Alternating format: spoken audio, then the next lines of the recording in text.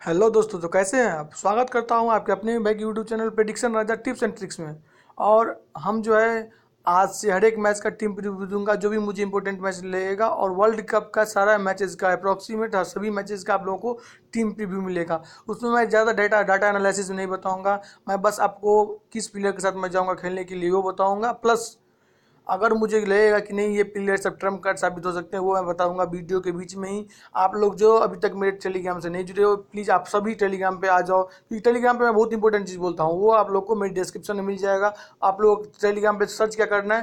P R family family इससे क्या होगा? आप लोग मेरे टेलीग्राम पर जुड़ जाओगे और मैं लास्ट टाइम में कुछ ना कुछ टीम में एडिट करूँगा तो वो आप लोग को मिल जाएगा, जिससे आप लोग को बहुत ही बेनिफिट होगा तो आज हम सबसे पहले कवर करते हैं West Indies women versus Ireland women के बीच में।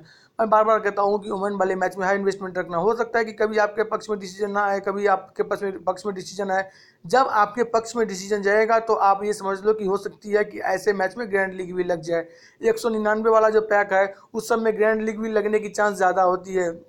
मैंने इसमें दो दफ़ा टेन थाउज़ेंड रुपीज़ जीती है, जिसका मैंने आप लोगों को प्रूफ भी दिया है बहुत टाइम उनसठ में तो रैंक वन एक मतलब ऐसा हो गया ना कि अब चार पाँच दिन के अंदर मैं एक ना एक मैच में आता ही हूँ। तो वो कोई बात नहीं होती है, बस चलते हैं टीम में। और आप लोग मेरे वीडियो को लाइक करना सब्सक्राइब करना शेयर करना और पसंद आए तो यार बताते रहना, क्योंकि मैंने वर्ल्ड कप में सोच लिया है कि हर एक मैच को आप लोग को अपडेट देता रहूँगा। आज हम चलते हैं West Indies versus Ireland women और देखते हैं इसमें क्या होता है। अगर इस वीडियो में मेरा हंड्रेड प्लस लाइक्स आता है आप लोग के मदद से तो मैं आप लोग को साउथ अफ्रीका वर्सेज इंग्लैंड के मैच के बीच में और जहाँ तक हो सकेगा सारे मैचों का, एक टीम प्रीव्यू कम से कम दूँगा, बट याद रहे कि ये मेरा हंड्रेड परसेंट तो टीम नहीं रहेगा। मैं टॉस के बाद फाइनल डिसीज़न लूँगा और टेलीग्राम पे जो मुझे अच्छा लगेगा, वो मैं टीम आप लोगों को प्रोवाइड करवा दूँगा। ठीक है, चलते हैं अब। एक मिनट, सबसे पहले मैं अपना सारा प्लेयर हटा लेता हूँ, उसके बाद डिस्कशन करते हैं कि किसको रखना है, नहीं रखना है। सही प्लेयर को पहले। और यार, ये बहुत इंपॉर्टेंट चीज़ होती है कि मैं आप लोग को बहुत टाइम बोला हूँ कि दस घंटा पहले लीग ज्वाइन करो। अब देखो एक एक चीज़ मैं आप लोग को दिखाता हूँ पहले। एक चीज़ मैं दिखा देता हूँ उसके बाद। मैंने क्या किया है ना, मैंने इतना लीग अभी ज्वाइन किया और मैं ज्वाइन करूँगा। एक सौ निन्यानवे वाला, उनसठ उनसठ उनसठ उनसठ, वैसे करके अभी लीग ज्वाइन किया हूँ और भी मैं तीन चार लीग और ज्वाइन करूँगा। अब देखो मैंने कितना घटिया टीम लगाया अभी। अभी नहीं, तकरीबन दस और पाँच घंटा पहले ही लगाया था। ये मेरा टीम प्रीव्यू है। इसके साथ जो कि मैं कभी नहीं जाऊँगा, मुझे पता है इसमें से एक दो बंदी बंदी बैठ भी जाएगी। तो हम करते क्या है? अब जैसे मान लो आप लोग को मैं टीम दे रहा हूँ, इस टाइम मैं अपना फाइनल टीम लगा देता हूँ। फिर अगर टॉस के बाद मुझे लगेगा कि कोई मेरा प्लेयर नहीं खेल रहे हैं तो उसको हम चेंज कर लेंगे। देखो वोमेन वाले मैच में क्या है ना कि टॉस भी बहुत बहुत कुछ डिसाइड करता है कि टॉस कौन जीता है, नहीं जीता है। मैं अभी जो टीम दिखा रहा हूँ आप लोग को, वो ये सोच के कि डब्ल्यू आई पहले बॉल कर रही है। डब्ल्यू आई वोमेन जो है, वो बॉल कर रही है। याद रहे वेस्ट इंडीज वोमेन जो है वो बॉल कर रही है, वो सोच के मैं टीम बना रहा हूँ, ठीक है? और अगर ये बॉलिंग नहीं करती है तो मैं इस टीम को टेलीग्राम पे चेंज करूँगा ही। तो उसके बाद मुझे कोई मत बोलना कि भाई आपने तो ये टीम दिया था, ठीक? एंड्रे फ्लेचर को मैं लूँगा बॉलिंग में। शेखरा सलमान शेखरा सलमान को बहुत बंदे छोड़ने वाले हैं। देखो अभी इसका परसेंटेज कितना आ गया है फोर्टी थ्री परसेंट जबकि मैं बता दूँ, अगर वेस्ट इंडीज़ पहले बॉलिंग करती है तो शेखरा सलमान डेथ में बॉलिंग करेगी, जो किसी को पता नहीं होगा। If West Indies ball, when ball first then Sekra Selman balls in death over. और जैसे ही डेथ में फेंकेगी तो 12 बॉल जो फेंकेगी डेथ में उसमें अप्रोक्सीमेट टू विकेट तो पक्का है यार। ये बहुत सारे भाई को पता नहीं होगा। हाँ अगर सेकेंड इनिंग में बॉलिंग फेंकने आती है सेकरा सेलमैन की टीम मतलब वेस्ट इंडीज में तब हो सकता है कि शेखरा सेलमैन को हम हंड्रेड परसेंट टीम से आउट कर दें। ठीक है? अब चलते हैं। एस कनल पिछले मैच नहीं खेली थी। अगर इस मैच में खेलती है तो इसको हम एस कनल को लेंगे ही। हंड्रेड परसेंट लेंगे एस कनेल को। अब ये मस्ट पिक है। एस मैकमोहन जो है मस्ट पिक है। इसको एट एनी कॉस्ट हम लोग छोड़ नहीं सकते हैं एस मैकमोहन को। क्योंकि ये लिटिल बिट बैटिंग भी करती है और थोड़ा बहुत बॉलिंग भी करती है। तो याद रहे, ये बंदी मस्ट पिक है। मस्ट पिक कुछ भी हाल में इसको लेना ही है। अब आते हैं। तीन हम लोग बैटर बॉलर ले लिए फ़िलहाल।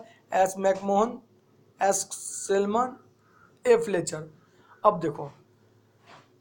अब स्टेफनी टेलर का कोई डाउन ही आज फिक्स नहीं है। अगर वेस्ट इंडीज पहले बैटिंग करती है तो मे बी ये वन डाउन आ जाए बट जैसे ही किंग ने पिछले मैच में प्रदर्शन किया था तो मुझे नहीं लगता था, या लगता है कि ए किंग को ये नीचे डिमोट करेगी। तो हम एक सेकंड देख लेते हैं कि हम लोग किसको रखेंगे के गर्थ को रखेंगे, क्योंकि एल डिनली जो है, वो पूरे सीरीज़ के लिए टीम से बाहर हो गई है। तो ये हंड्रेड परसेंट नहीं खेलने वाली है। ये हंड्रेड परसेंट नहीं खेलेगी, इसको मत लेना।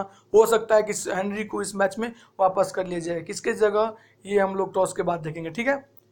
हेले मैथ्यूज के गर्थ दो और आते हैं इधर। बी कूपर अगर खेलती है तो लेंगे, क्योंकि देखो वेस्ट इंडीज़ कुछ भी चेंज कर सकती है।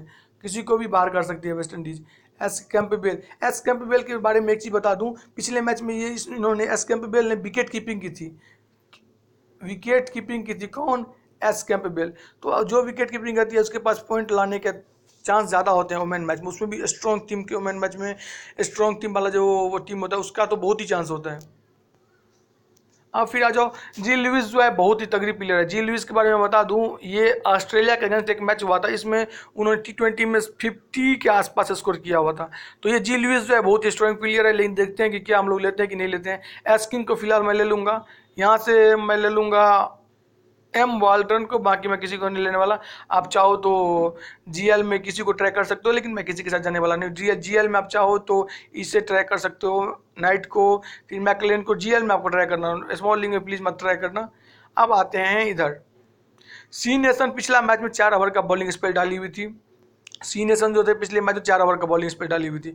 तो अगर वेस्ट इंडीज़ का सेकेंड बॉलिंग आता है तो सी नेशन जो है मस्ट पिक कर लेना भाई। हो सकता है कि कैप्टन इसे फिर से चार ओवर करवाए, एक शर्त पे, जब वेस्ट इंडीज में सेकेंड बॉल करे तब। अदरवाइज़ मैं अभी यहाँ से ले लेता हूँ। छः तीन हो गया, अभी भी प्लेयर बाकी है स्टेफनी टेलर लूँगा नहीं। देखो ये इतना पिलर तो मेरे पास मस्ट पिक है।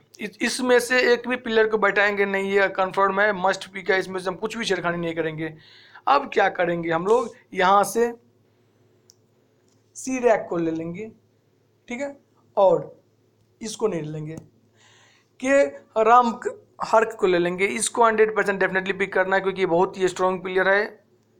बहुत ही चार ओवर के स्पेल डालती है तो ये और अपने आप में स्ट्रांगनेस अपना बढ़ा लेती है। तो इसको लेना ही है किसी भी कंडीशन में, इसको ले लेना है, चार ओवर डालेगी और टू विकेट लेने की चांस है इसका। फिर अपने पास एक प्लेयर और लेना है, अब आप डिसाइड करो किसे लेना है। मैं फ़िलहाल लेके जाऊँगा एल मैरिटेज को। अगर आयरलैंड पहले बॉलिंग करेगी तो अदरवाइज़ मैं यहाँ से ले लूँगा सी रैक को। अब आप लोग को डिसीज़न लेना है सी रैक लेना है लास्ट प्लेयर या एल मैरिटिस लेना है, या यहाँ से जी लुइस लेना है। इस तीनों में से आप डिसीज़न लो। मैं फ़िलहाल टीम प्रीव्यू दे देता हूँ। इसके साथ मैं जाऊँगा। इसमें मैं कुछ भी छिड़खानी नहीं करूँगा। हाँ स्टेफनी टेलर का प्रेस कॉन्फ्रेंस देखता हूँ, क्या बोली है। अगर कुछ उसमें बोली होगी कि मैं बैटिंग करूँगा ऊपर आके, या फिर ऐसे ही चलेगा तो मैं टेलर को नहीं लूँगा। कैप्टन वाइस कैप्टन की बात करें तो फ़िलहाल मैं यहाँ से ले लेता हूँ एक और बॉलर एलमाइटिस को। एलमाइटिस को मैं तब ये लूँगा एक चीज़ ध्यान से रखना कि जब डब्लू आई फ़र्स्ट बैटिंग करेगा। मैंने इससे पहले टीम बोला था डब्ल्यू आई फ़र्स्ट बॉल करेगा। अब देखो टॉस कितना इंपॉर्टेंट है। लेकिन मैं एल मैटिस को ले रहा हूँ, जब डब्ल्यू आई पहले बैटिंग करेगा। अगर ये पहले बॉलिंग करता है डब्ल्यू आई तो मैं यहाँ से ले लूँगा गैबिल को अब आप लोग डिसीज़न लो और टेलीग्राम पर तो मैं फाइनल टीम दूँगा ही। ये या फिर ये। फ़िलहाल मैं एल मैटिस को लेके जाऊँगा क्योंकि ये एक्सपीरियंस्ड बॉलर है। अब टीम टीम प्रीव्यू देख लो सबसे पहले। M Waldron B Cooper Campbell S King Matthews K Garth Fletcher, K Ramharack, S Shakera Selman S McMahon, L Mattis captain vice captain की बात करूँ तो दुनिया आज जाने वाली है इसके साथ। ये श्योर रख लो, दुनिया आज जाएगी फिर से के गर्थ के साथ। जाना भी चाहिए, बाय चालीस एक मैच में, फिर सत्तर के आसपास एक मैच में बहुत पॉइंट दे रही है लेकिन मैं फिर से अपना मन बनाऊँगा और देखता हूँ टॉस के बाद। टॉस के बाद अगर मुझे मालूम चलता है कि आयरलैंड में पहले बॉलिंग करती है तो शायद मैं भी आज के गर्थ के साथ चले जाऊँगा। अदरवाइज़ मैं फेवरेट हैले मैथ्यूज को मैं कैप्टन दूँगा वाइस कैप्टन मैं दूँगा एस किंग को। क्योंकि मैं फिर से रिपीट कर देता हूँ, दुनिया आज जाने वाली है के गर्थ के साथ। अगर ये फ्लॉप गई तो समझो ये और ये वाले बल्ले बल्ले है। और जो दूसरा टीम बनना, उसमें क्या करना? किसी में गर्थ को भी कैप्टन देना, किसी में एक्सकिंग को देना। कैंप बेल को भी दे सकते हो बी कूपर को भी दे सकते हो। ये अपना फाइनल टीम है। एक बार रिपीट कर दें M Waldron S King Campbell Cooper Garth Matthews A Fletcher McMahon Shakera Selman और रैमरक ये अपना प्लेइंग एलिमेंट रहेगा। टॉस के बाद अगर मुझे मन करेगा तो इसमें से हम किसी को चेंज कर लेंगे। और चलते हैं फिर। आप लोग को अगर वीडियो पसंद आई होगी तो वीडियो को लाइक करना सब्सक्राइब करना शेयर करना और लास्ट में आप लोग को बता दूँ कि मैं कौन सा पैक खेल रहा हूँ। तो फ़िलहाल तो मैंने पहले ही दिखा दिया one ninety nine fifty nine fifty nine fifty nine fifty nine seventy seven seventy seven और मैं तकरीबन फिफ्टी नाइन वाले पाँच और सेवेंटी सेवन वाले चार पाँच खेलने वाला हूँ। ठीक है दोस्तों बाय